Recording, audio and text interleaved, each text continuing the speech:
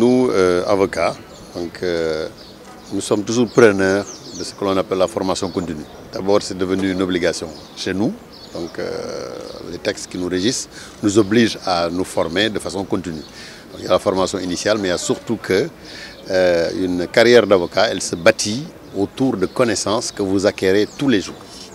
Et donc, sous ces rapports-là, quand euh, nous sommes invités à participer à des forats et des symposia, pour emprunter le euh, terme du professeur Ibader Thiam, au cours desquels on échange sur des thèmes tels que l'état de droit et la justice, et nous sommes toujours preneurs. D'abord, ça fait partie de nos obligations. Et puis ensuite, comme je l'ai dit, c'est des rendez-vous du donner et du recevoir. Quand vous sortez d'un séminaire de deux ou trois jours sur ces thèmes-là, vous apprenez forcément des choses. Et c'est toujours utile, comme l'a dit le premier président de la Cour suprême, pour les acteurs, n'est-ce pas, d'être toujours en phase avec les textes. Les textes nouveaux, comme d'ailleurs les textes anciens, parce qu'il est une règle que euh, nul n'est censé ignorer la loi, mais euh, c'est une fiction. Euh, tout le monde dit nul n'est censé ignorer la loi, mais ce n'est pas vrai. Je veux dire que les acteurs eux-mêmes peuvent avoir besoin, n'est-ce pas, d'être au diapason de la loi, donc de la pratiquer, de la discuter tous les jours entre acteurs pour voir un peu quelle est la substance qu'il faut en tirer. La grande question qui est posée, et le premier président l'a abordé tout à l'heure, c'est un peu, euh, je veux la diversité, le nombre très important des conventions et des textes qu'il faut connaître.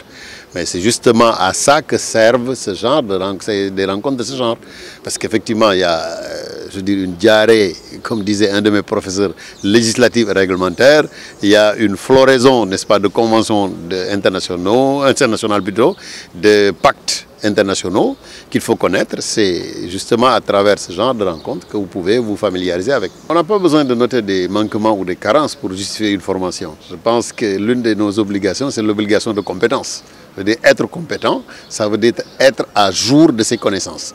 Être à jour de ses connaissances passe par le fait que vous puissiez, que vous euh, fassiez partie, n'est-ce pas, de ce genre de séminaire, que vous y contribuiez, que vous échangiez avec des gens qui vous apportent des idées, qui vous apportent leur façon de voir les textes. Je veux dire, on n'a pas besoin véritablement d'être dans une position de carence pour, euh, on va dire, participer à ce genre de rencontres.